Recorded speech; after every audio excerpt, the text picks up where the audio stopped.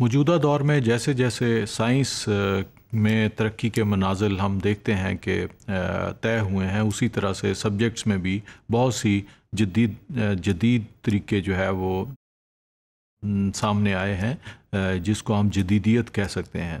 तो इसी मॉडर्नाइज इरा में जोग्राफ़ी के जो टेक्निक के एरियाज़ हैं, जिसको हम रीसेंट टेक्निक कहते हैं, उसमें GIS is one of the most important um, uh, technique which can use in different areas. So here we can apply this type of uh, technique and not only in the natural environment but in human environment as well. So uh, this is one of the technique uh, or system designed to capture, store, manipulate, analysis, um, manage and present all type of spatial and geographical data. So GIS can enhance weather systems on surface maps as air masses, fronts and surface observation. Thus, the weather information could be provided to public. So this system is an organized collection of computer hardwares, software, geographical data and efficiently capture, store, update or manipulate the all types or forms of geographical referenced information. GIS means computer systems and programs that help or to answer the questions about the world.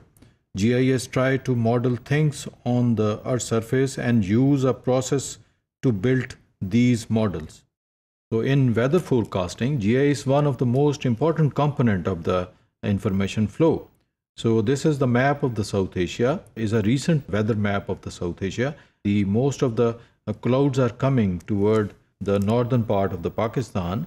Uh, so it gives us the picture of the future weather forecast. So we must uh, plan the area according to the weather condition. This is the map of the 27th of uh, uh April, uh, where the most of the rain is occur or with thunderstorm in the northern part of the Pakistan.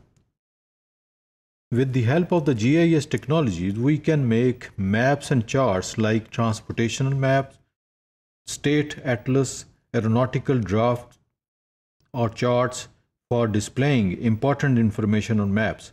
This information is about real world and is organized into layers. It can answer the questions like where is the closest school or market? Where was the last earthquake and which are the risk zone of the earthquakes. So this map actually is the USA map shows the history of tornado, cyclone and their impact areas. So most of the जो high risk zones हैं वो to the center of the uh, USA में मौजूद हैं So this place is actually under the high risk zones. The dark colors, the green dark colors shows the highest risk zone of the tornadoes uh, which is to the center or to the southeastern part or south central part of the USA. So actually this area is actually the meeting place of the cold and dry air mass which actually coming from the north western part of the USA and the second uh, air mass which is coming from the southeastern part of USA is the maritime tropical or maritime equatorial. So this is moist and warm. So these two air masses collides in this area. So this become uh, one of the very dangerous uh, zone or risk zone for the tornado, creation of the tornadoes. So this map is prepared by the GIS technique. So here we have the history, not only the history of the tornado, but it has the number of the tornadoes also. The most of the tornadoes are actually in the central part of the USA. This actually area is under the highest number of uh, tornado creations, uh, but other states are less important. So the mapping uh, actually is the most important uh, in data presentation and one of the most important technique in digital mapping is GIS.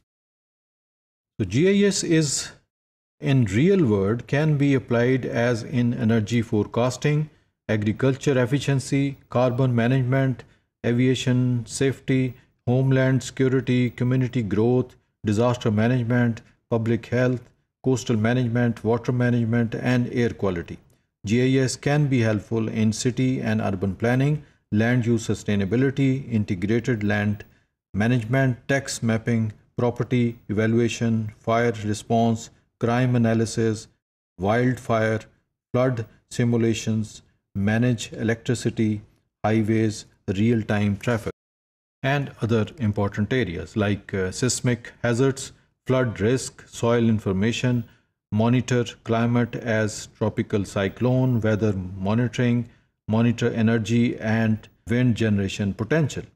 So GIS can be helpful in evaluation uh, or in the evaluation of the impact of global climate change as sea level rise modeling, coastal zone mapping and vegetation trend. So this map actually is the map of the Lahore which gives us the picture of the highest contamination of the city. So most of the extremely high risk zones are in the center of the city which actually is the the area under high population uh, zone.